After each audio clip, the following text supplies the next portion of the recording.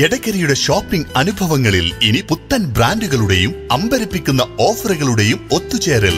നിത്യോപയോഗ സാധനങ്ങളുടെ വിപുലമായ കളക്ഷനുകൾ അതിവിശാലമായ കാർ പാർക്കിംഗ് സൗകര്യത്തോടെ കാരി fresh hypermarket Dubai mall Edakkara. വിശ്വസിക്കാൻ പറ്റാത്ത വഞ്ചക പരീക്ഷകളായി കോൺഗ്രസ് മാറിയെന്ന് മുഖ്യമന്ത്രി പിണറായി വിജയൻ. നിലമ്പൂരിൽ വയനാട് ലോക്സഭാ മണ്ഡലം എൽ ഡി എഫ് സ്ഥാനാർത്ഥി ആനി രാജയുടെ തെരഞ്ഞെടുപ്പ് പ്രചരണ യോഗം നിലമ്പൂരിൽ ഉദ്ഘാടനം ചെയ്ത് സംസാരിക്കുകയായിരുന്നു അദ്ദേഹം. ജനാധിപത്യവും മതനിരപേക്ഷതയും ഫെഡറൽ സംവിധാനങ്ങളും തകർക്കപ്പെടുമെന്ന ആശങ്ക രാജ്യത്ത് വർദ്ധിക്കുകയാണ്. ഭരണഘടനാ സംവിധാനങ്ങളെ നോക്കുകുത്തിയാക്കിയിരിക്കുകയാണ്. നിയമവ്യവസ്ഥകൾ അട്ടിമറിക്കാനുള്ള ശ്രമവും നടന്നുവരികയാണ്. ജുഡീഷ്യറിയെ പോലും സ്വതന്ത്രമായി പ്രവർത്തിപ്പിക്കാൻ അനുവദിക്കാത്ത ഇടപെടലുകളാണ് നടക്കുന്നതെന്നും മുഖ്യമന്ത്രി പറഞ്ഞു. രാജ്യത്തെ പൌരന്മാരും അല്ലാത്തവരുമായ എല്ലാ വിഭാഗം ജനങ്ങളുടെയും സുരക്ഷിതത്വമാണ് ഭരണഘടന ഉറപ്പു നൽകുന്നത്. എന്നാൽ മതത്തിന്റെ അടിസ്ഥാനത്തിൽ പൌരത്വം നൽകാനാണ് ബിജെപി സർക്കാരിന്റെ ശ്രമം. ഇതിനെതിരെ ശബ്ദിക്കാൻ കോൺഗ്രസിന് ആവുന്നില്ല. രാജ്യത്തിന്റെ മതനിരപേക്ഷതയെ എതിർക്കുന്ന വിഭാഗം എക്കാലത്തും കോൺഗ്രസിലുണ്ടായിരുന്നു. എന്നാൽ നെഹ്റു ഇത്തരം നിലപാടുകളെ ചെറുത്തുനിന്നു പിന്നീട് വന്ന കോൺഗ്രസ് നേതാക്കളും പ്രധാനമന്ത്രിമാരും ആർ നിലപാടിനെ അംഗീകരിക്കുന്ന നയമാണ് സ്വീകരിച്ചത്. കോൺഗ്രസ് നിലപാടുകളിൽ നിന്നുള്ള മാറ്റം ആർ എസ് എസിന്റെ താൽപര്യങ്ങൾക്ക് അനുകൂലമായി മാറിയെന്നും ബിജെപിയുടെ വളർച്ചയ്ക്ക് കാരണമായതായും മുഖ്യമന്ത്രി ആരോപിച്ചു. നെഹ്റുവിന്റെ കാലത്ത് ഫലസ്തീൻ അനുകൂല നിലപാട് സ്വീകരിച്ചിരുന്ന ഇന്ത്യ നരസിംഹറാവു പ്രധാനമന്ത്രിയായതോടെയാണ് നിലപാട് മാറ്റിയത്. നരേന്ദ്രമോദി സർക്കാർ ഇസ്രായേലിനൊപ്പമാണ് എന്ന് പരസ്യമായി പ്രഖ്യാപിക്കുകയും ചെയ്തതായും മുഖ്യമന്ത്രി പറഞ്ഞു. ഏക സിവിൽ കോഡ് സിഎഎ തുടങ്ങിയ മതസ്വാതന്ത്ര്യത്തെ തകർക്കുന്ന വിഷയങ്ങളിൽ പോലും കോൺഗ്രസിന് വ്യക്തമായ നിലപാട് സ്വീകരിക്കാനായില്ലെന്നും മുഖ്യമന്ത്രി പറഞ്ഞു. ആ പ്രവർത്തനങ്ങൾ അവർ തുറന്നു വന്നു. നിർഭാഗ്യവശാൽ നമ്മുടെ രാജ്യം ഈ അഭിപ്രായക്കാരെ നിയന്ത്രിക്കുന്ന അവസ്ഥയിലേക്ക് എത്തി. രാജ്യത്തിന്റെ ഭരണാധികാരം ആർ എസ് എസ് നിയന്ത്രിക്കുന്ന ബി ജെ പി നേതൃത്വം കൊടുക്കുന്ന മുന്നണിയുടെ കയ്യിലായി അതോടെ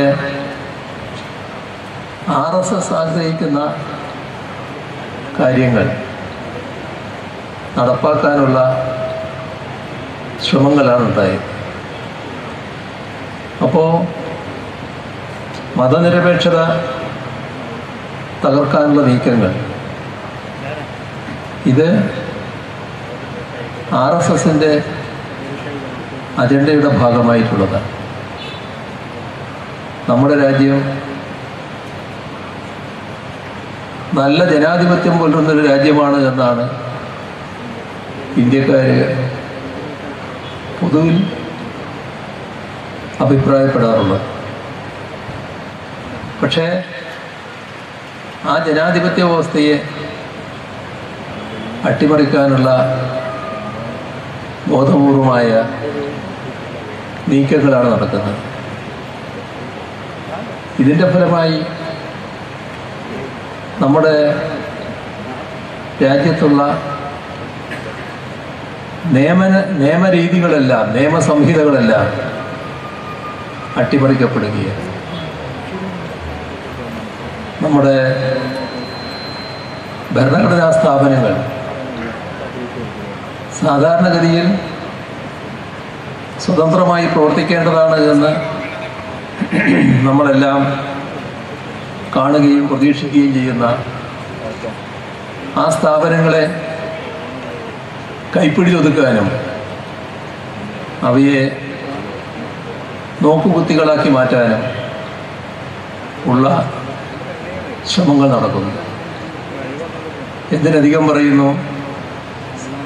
ജുഡീഷ്യറിയെ പോലും പ്രവർത്തിക്കാൻ സ്വതന്ത്രമായി പ്രവർത്തിക്കാൻ അനുവദിക്കാത്ത തരത്തിലുള്ള ഇടപെടലുകൾ ഉണ്ടാവും നമ്മുടെ സ്വാതന്ത്ര്യം. സ്വാതന്ത്ര്യം എന്നത് കേവലമായ ഒരു വാക്കല്ല? നാം അനുഭവിച്ചുകൊണ്ടിരിക്കുന്ന ഒരു കാര്യമാണ്. ഇന്ത്യയിൽ സ്വാതന്ത്ര്യമെന്ന് പറയുമ്പോൾ ഏത് മനുഷ്യനും തന്റെ വിശ്വാസത്തിനനുസരിച്ച് എഴുപത്തിയേഴിൽ ഇന്ത്യ എന്നാൽ ഇന്ദ്ര എന്ന മുദ്രാവാക്യം ഉയർത്തിയ കോൺഗ്രസിനെയും രണ്ടായിരത്തിനാലിൽ അധികാര തുടർച്ച സ്വപ്നം കണ്ട ബി ജെ പിയെയും പരാജയപ്പെടുത്തിയത് രാജ്യത്തെ ജനങ്ങളാണെന്നും ജനങ്ങളുടെ കരുത്തിന് മുൻപ് പലരും തോറ്റ അനുഭവമുണ്ടെന്നും ജനങ്ങളുടെ കരുത്ത് തകർക്കാനാവില്ലെന്നും മുഖ്യമന്ത്രി ഓർമ്മപ്പെടുത്തി. ബി ജെ പി അധികാരത്തിൽ കൊണ്ടുവരുന്ന ഒരു വിഭാഗമായി കോൺഗ്രസ് മാറിയെന്നും മുഖ്യമന്ത്രി ആരോപിച്ചു. സിപിഎം ഏരിയ സെക്രട്ടറി പത്മാക്ഷൻ സ്ഥാനാർത്ഥി ആനി രാജ സിപിഎം ജില്ലാ secretary E N Mohandas CPI സംസ്ഥാന assistant secretary P P Suneer ജനാധിപത്യ കേരള കോൺഗ്രസ് ജില്ലാ president M A വിറ്റാജ് Kerala Congress B ജില്ലാ president K P Peter R J D നേതാവ് Rajamohan N C P S block president Paranthan Noushad I N L പ്രതിനിധി Parattikunjan C P I ജില്ലാ committee അംഗം P M Basheer Kerala Congress M മണ്ഡലം president M A Thomas നഗരസഭാ അധ്യക്ഷൻ മാട്ടുമൽ സലീം ഉപാധ്യക്ഷ അരുമ ജയകൃഷ്ണൻ എന്നിവർ സംസാരിച്ചു news bureau Nilambur real fruit power real juices from Dabur.